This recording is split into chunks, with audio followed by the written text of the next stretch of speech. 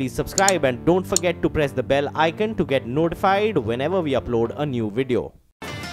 This is Bazaar Morning Call, live from the CNBC TV 18 headquarters in Mumbai. Good morning. This is Bazaar Morning Call. I am Anuj with me, Sonia and Surbhi. Good morning, both of you. Good morning, Anuj. Hi, good morning, Good morning, Surbhi. Surbhi. Good morning, Anuj. Uh, it, you know, it uh, looks pretty good for the global markets, looks Yeah. pretty good for the Indian markets. But how good is too good, right? I mean, we've seen a 400 point rally on the Dow. Uh, we've seen yields stabilizing over there. Lots of buying in our own markets, in banks, etc. Did we preempt that rally? Yeah, that's a tough one, right? Uh, look, I think the, the easy thing uh, this morning is to just respect what the market is telling you. Actually, that's the that's one thing that you should do every day instead of preempting what the market would do. Let's respect. Let's see if the market right now market is in a gr- good groove and the market is inching up, actually surging. Uh, let's see if it turns. Uh, you know, you should not preempt that. The market will tell you if it's uh, you know uh, you know getting into a point where it wants to turn. Today, I think is a really big day for the market because what would happen today after the gap up is that you would move above the 20 and 50 day moving average for the Nifty. 20 DMA is 10,615. Good point is that now it's a falling 20 DMA because of the recent correction. And 50 DMA is 10,618. The recent high when you started to recover was 10,638. This is the zone. I mean, if you know this is the zone in which you have stubborn shorts this is the zone in which you have you know the, the adventurous shorts and the strong shorts uh, and if you start to cross that uh, and you have a trend day which is that the morning high is taken out between say 10 to 11 in that case you are likely to have a massive short covering move further massive short covering move. Uh, otherwise uh, uh, you know this again would become the level where uh, you know if it's not respected, I mean, if it's not taken out decisively, then maybe, you know, the jury is still out on whether what you're having right now is a counter trend move and the trend is still down. So I- you still need to see a couple of days before getting convinced, right? Because yesterday you told me, you know, when I asked you the same Yes. question, you said don't get too excited with one day uh, move. Yeah, because you know, uh, look, uh, we are having a uh, you know big bounce right now. It's the start of a new series, uh, so you don't have the baggage of the February series. Uh, the first two days have been good, and you know we're sitting on back-to-back. You know, centuries on the Nifty, back-to-back triple centuries on the Bank Nifty. Uh, the FI selling continues in the cash market, but there's some buying in index futures. So even, the, you know, the FI money is playing for near-term bounce, uh, Sonia. Uh, I think the bigger point here now is how to approach individual stocks and markets. In that, yesterday, I think you saw a return of erstwhile market leaders. HDFC's twins saw big delivery buying. The Bajaj twins, uh, FinServ and Finance, they saw big delivery buying. And I think what would have been most heartening for bulls, Maruti and Eicher saw big delivery based buying. That, I think, is something which uh, would be interesting. Uh, this, I think, is a rally in which once again the market is giving you an opportunity, I think, to correct your portfolio, to move out of junk and move into good quality stocks. Uh, because good quality stocks would, you know, you, you can be reasonably sure that HDFC Twins would go back to a lifetime high. You can be reasonably sure that Maruti would go to a lifetime high. You're reasonably sure that Eicher would go to all-time high, Bajaj Twins would go to all-time high. You can't say the same thing about each and every stock in your portfolio. So this is a rally in which your, the market is giving you an opportunity to get into better quality stocks and probably remove a bit of junk. And I think market breadth in that sense will remain a key monitorable to watch once again. Anuj, morning, it looked like an absolutely perfect morning for the Bulls, right? And that's when we had that late night exchange filing from PNB. Now, the amount is 1320, 1,320 odd crores. One is that, okay, you can't ignore the, the amount, it's not that small. The second point, Anuj, uh, whether the market will take discomfort uh, from the fact that we don't know is there more, is there another LOU, is there another bank? And the related question to that is that, uh, you know, uh, the PSU banking index is still 8% off its low. PNB and stocks like PNB are already at 52 two week lows. So, do you think the market can ring fence this PSU banking problem and just march on regardless? You know, uh, on this, I'll go back to my schooling days. Uh, you know, in schooling days, we had six subjects, uh, and uh, you know, best of four used to be taken into account. Uh, so, you know, I would never study physics, you know, and you know I would get say zero or you know ten because you know my sense was why you know care about a subject which you know I, don't understand Yeah. and you know is anyway not going to matter because I knew that you know I'm going to score the least in that. So you know I scored 46, 47 in that and I was fine because you know there was computer science, there was mathematics in which you know I was reasonably good and I scored you know good in that subject. So PNB is physics for you. PNB is physics, you know. So, and you know, there's a reason that the stock is trading at where it is because the market refuses to believe that what you saw was the, was it. Uh, because otherwise, you know, the in this big rally, the stock should have also rallied. The fact that PSU banking index is closing at the lows of the day, mm. fact that PNB is just not recovering, is telling you that the market does not believe that the worst of this is out of the way.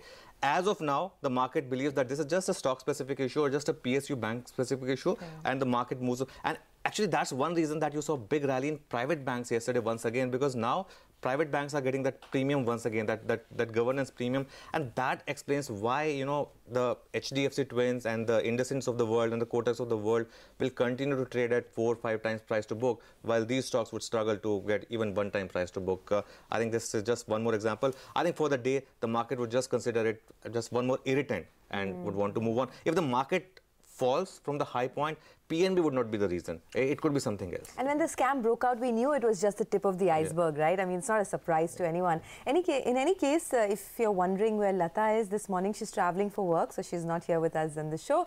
But nevertheless, let's take a look at what our wise experts have to say as we head into trade this morning. Paul McKitney of Daiwa Capital says the inflation expectations have now surpassed the Q4 2016 Trump bump. He says commodities and material sectors have seen a resurgence of pricing power due to supply side discipline and structural reform in China. Together with strong Asian currency fundamentals, he observes a revival of the Asian reflation trade and recommends the inflation group with financials, materials, consumer discretionary, and energy as overweight sectors. Daiwa's top picks within India are Yes Bank, Shriram Transport, HDFC Bank, and Axis Bank. Okay, let's get you some money market views as well. Then Bhaskar Panda of HDFC Bank says the dollar index has uh, steadied above 89.5 levels ahead of the new Fed chief's first testimony.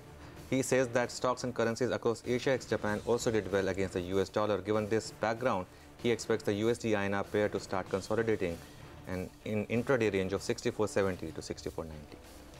And on the bonds, Bhaskar Panda says the 10-year benchmark bond yield has retraced a bit after touching the recent high of 7.75%. He expects a range between 7.65 to 7.70% for today. Okay, here's the good news for the bulls. Uh, Mangalam with the world view. Good news and how 400 runs hit on the Dow in yesterday's trading session, a percent higher on S&P as well as Nasdaq. Who led the gains? Well, it was Boeing, the index heavyweight, flew the Dow higher. Along with that, we had 3M2 contributing most to those upsides. And with this move, now the Dow and S&P are actually just about 3% away from the previous record highs. Remember at one point last month, they were down 10% from record highs. And good stocks, they recover before the index recovers. So we have the FANG stocks, which is Facebook, Apple, Amazon, Netflix, and Google parent Alphabet. They are at the pre-correction level. So good strength seen in individual stocks as well. Uh, the one thing that the street will be watching out for is Fed Chair Jerome Powell's uh, speech at the House today and how the trajectory for interest rates will be going forward. Because if you take a look at yesterday, uh, US 10-year yields, intraday it hit that 2.95% mark and then settled just below that 3% mark. So that is something we'll be watching out for.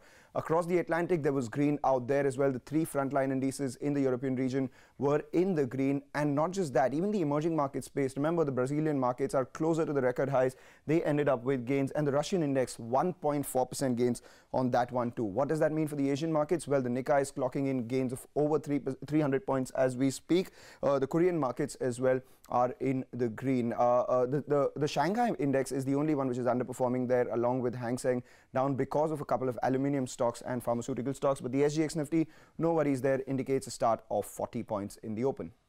Okay, all right, Manglam, thanks so much for that. So green across the board as far as global cues are concerned.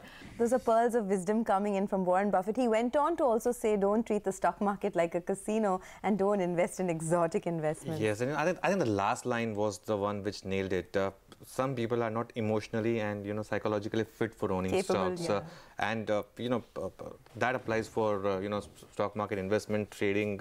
Uh, 80% of it your, is your psychology and your you know your ability to deal with losses. Time. Exactly. Absolutely. All right, uh, we'll be getting you snippets of that conversation through the course of the day. Pretty good looking screen across the Asian markets, you'd have to say. The SGX Nifty indicating the start will be in the green, third day in a row. Let's see how that plays out. Our research team is now here with us to give you the list of top 10 stocks to watch out for the day. Uh, lots of big stocks and focus Nifty companies as well. We'll get to that in a bit. Anuj, first, what are you looking at?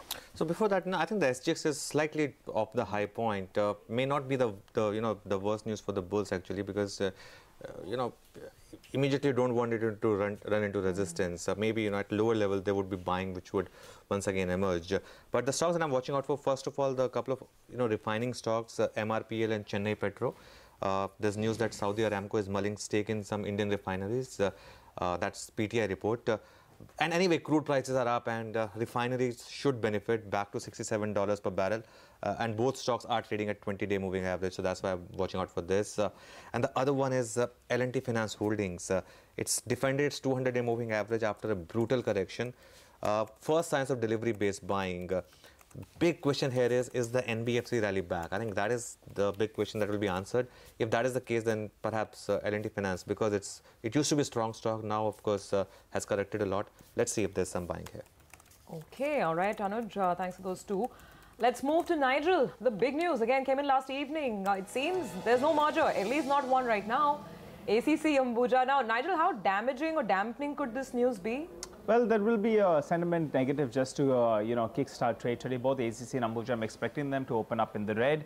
Uh, remember what the management is saying, as you said, that for now the merger is not happening, though the ultimate goal going ahead is to merge both these two entities.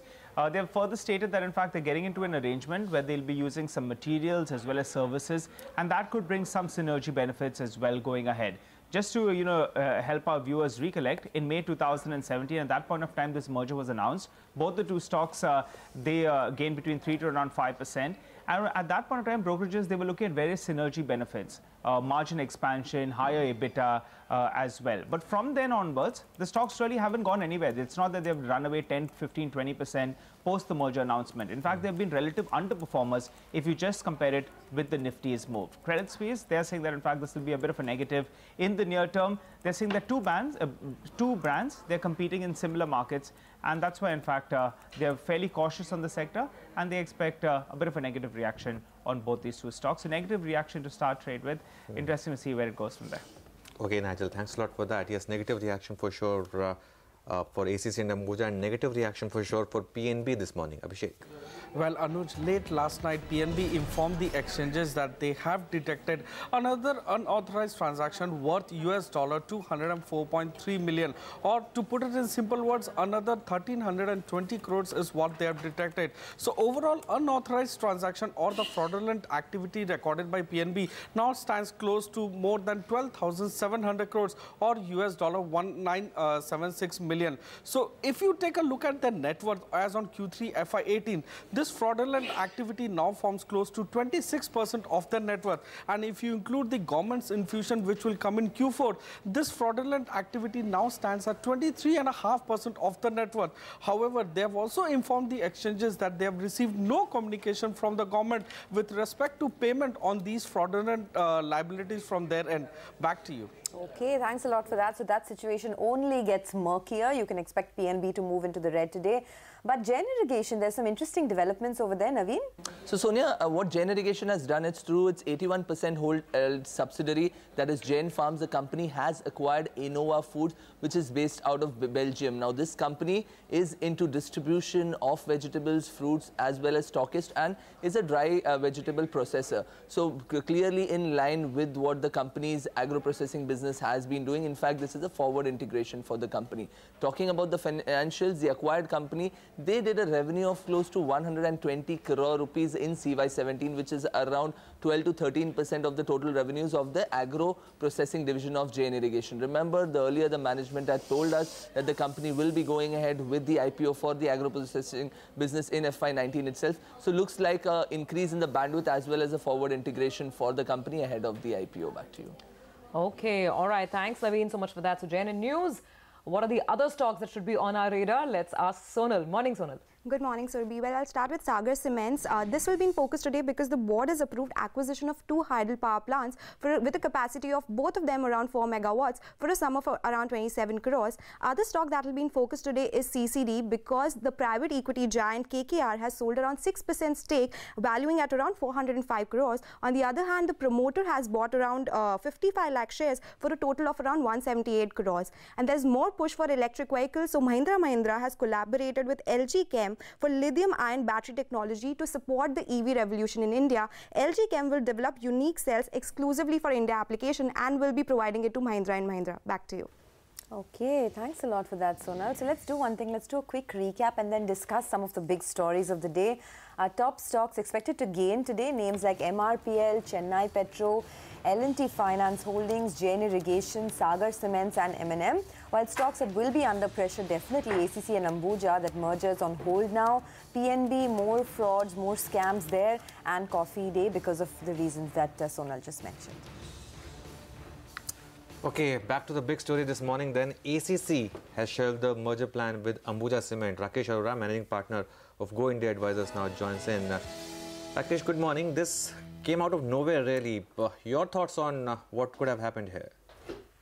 Uh, see, this was largely expected by the market because uh, you know the merger was announced in 2000 in May 2017, and it's taken inordinately long.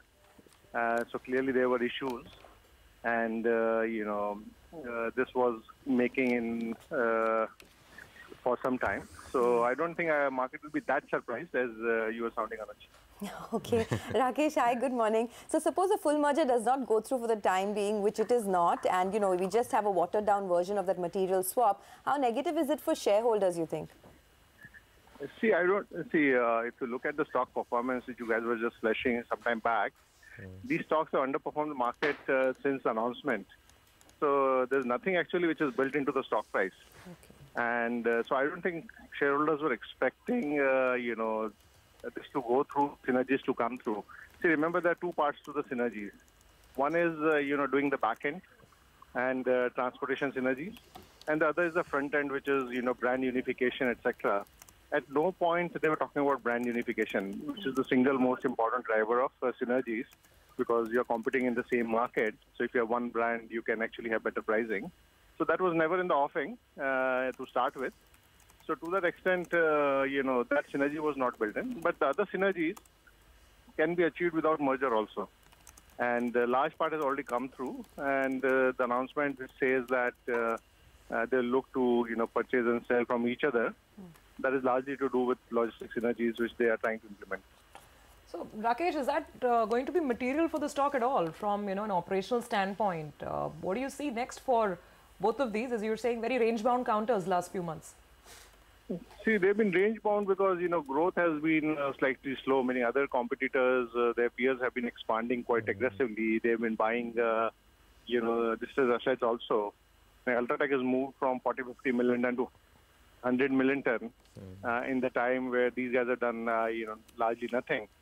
So to that extent, they have been, uh, you know, range bound counters. But remember, they are throwing a lot of cash, and the cash yields are extremely high. So I don't see any major reaction uh, on the either side. Okay. But would you expect uh, stocks like Ultratech and Shree Cement to to continue to outperform uh, uh, these two stocks? See, uh, they have outperformed massively over the last uh, four five years. If you uh, see that, in the near term, I don't think there's any uh, you know uh, material catalyst for Ultratech or Shree to really outperform. There are two reasons. One is that they've expanded capacity well ahead of you know the demand coming through. So they're sitting on high financial and operating leverage, which will not play out till the time demand picks up. And number two is that uh, some of the advantages that Shree and Ultratech had, which was higher usage of petcoke, etc., has turned negative with uh, petcoke prices going up so materially. So uh, to that extent, in the near term, I don't think there's any uh, you know major reason for outperformance to continue. But from a long-term perspective, definitely those companies will grow much faster. Okay, so no reason for the outperformance to continue in the near term. Just wanted to get your thoughts in on the cannibalization issue because that will arise again, right, with respect to ACC and Ambuja. I mean, they both compete in the same markets for the same share. Uh, now, how does that pan out? No, so Sonia, that was not going to change with the merger till the time they they had one brand. If you have two brands, that was always going to be the case. And uh, you know, both ACC and Ambuja are strong brands, and it's a very difficult decision for Holcim and Lafarge to take when they want to, you know, bring Holcim brand or Lafarge brand to India and unify these two brands. But they'll have to take a big hit someday. Okay. But they are not really prepared for it, as we can make out from the merger, because it's been called off because of cost reasons. All right, Rakesh. Thanks a lot for your time uh, this this morning. Uh, as Rakesh Arora saying that uh, perhaps the market knew that uh, it's not going to happen the kind of delay that has already happened more than one and a half years since that merger was announced. And of course, uh, now they're not going ahead with, ahead with that. Uh, here's some more thoughts from uh, Anil Singhvi, someone who knows cement sector probably better than anyone else. So here are his thoughts. I think there is a bit of a design. So I wouldn't give it by just the business compulsion. And you don't take 10 months in, in Okay. merging the two cement companies which are under your own ownership. Look at how Ultratech Hmm. was created by Kumar Mangalam Birla by, by merging the Indian Rayon and Grasim cement companies. Hmm. So I don't think there is any merit in this whole uh, uh, game which is being played out. I think according to me, there is a bigger design to frustrate the minority share, shareholders. I think both the boards have failed in, in really coming out to a, a, a, a much better plan for the minority shareholders.